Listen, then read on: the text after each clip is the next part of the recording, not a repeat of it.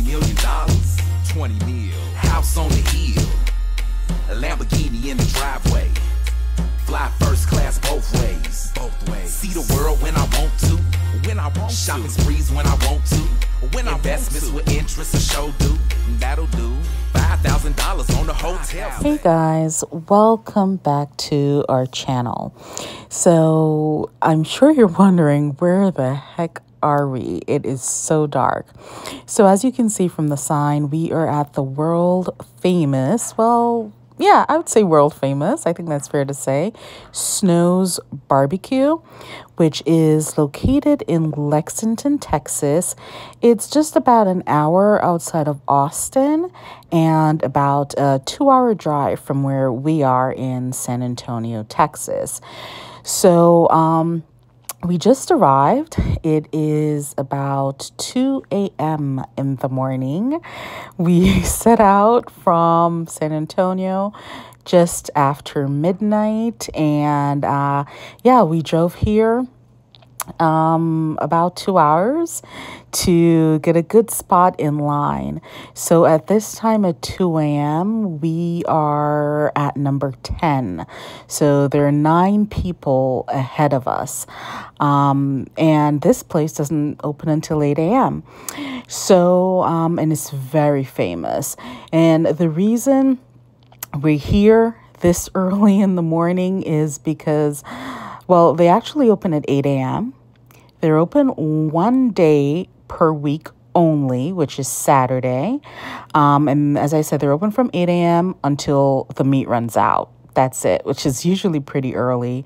And the line tends to get pretty, pretty long.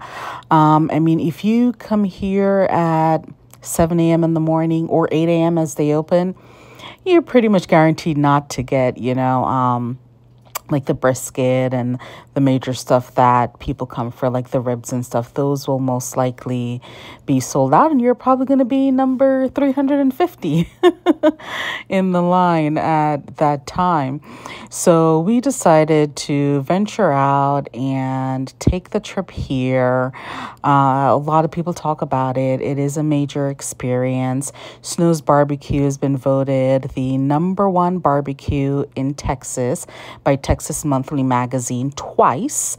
Most recently in 2017 was the last time they were rated number one. Um, over there in the red shirt is the pitmaster Miss Tootsie. She is 86 years young. And um, yeah, she is the pitmaster who, you know, runs it all here. And she's just a phenomenal lady.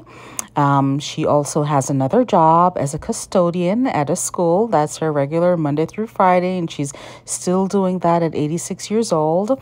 Um, this re restaurant has actually been open for 18 years now, but um, gained notoriety and popularity two years ago in 2020 when it was featured on Netflix's uh, Chef's Table. So that just had hordes and hordes of people showing up to um, get this barbecue and see what it's all about. And Tootsie, Fun fact has also been nominated, was nominated um, in 2018 for a James Beard Award. So um, that's a pretty big, you know, uh, accolade. So yeah, we are here to see what it's all about and if it's worth it. It's dark. Hello, guys. We're freezing out here waiting to have some barbecue, which better be worth it. It's 4.30 a.m. in yeah. the morning. How, how, how cold Six, is it? 65 degrees. 65 degrees and every minute Windy. the temperature's going down and down. They open at 8 o'clock and we're number 10. Yeah. So we should be getting over barbecue before 9 or 9.30. Mm -hmm. Yeah. So we'll let you guys know if it's worth it. So at this point, we have been here um, just over two and a half hours already.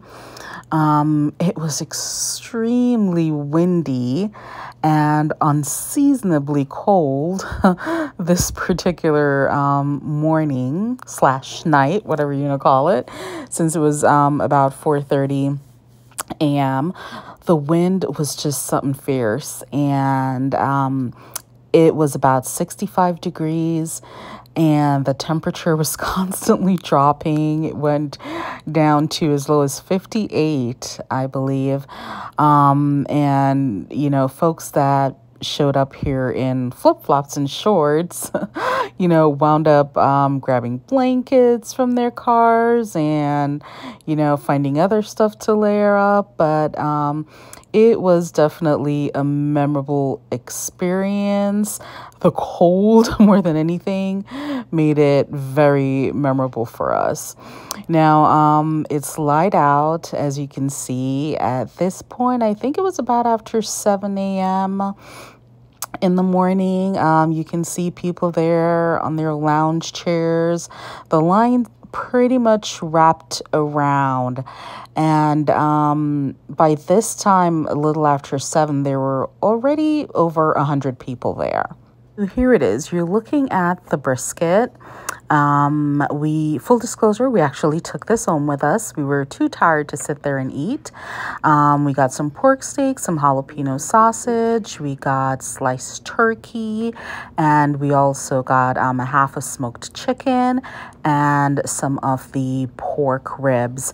Now, full disclosure, although we drove back two hours to San Antonio with this food, um, we actually had an opportunity to eat some there immediately fresh off the smoker. And I have to tell you guys, in our opinion, Ziki agrees with me on this one. We've both had better brisket. Was it worth driving two hours, waiting in the freezing cold for six hours? In our opinion, probably not. Um, just for the experience factor, I would say yes, you meet great people in line. It's definitely worth doing once. Would we go back? Would we do it again? Probably not. Well, I'll say definitely not. But the highlight for us were, were the pork steaks, so we would go back for that. So yeah, guys, that's it. That was our experience um, going to Snow's Barbecue. If you've eaten at Snow's Barbecue, comment down below. Let us know what you think. Um, if it's on your bucket list, are you still going to go? Um, yeah, let us know. We hope you enjoyed this video. $20 million, 20 mil, house on the hill, a Lamborghini in the driveway, fly first class both ways.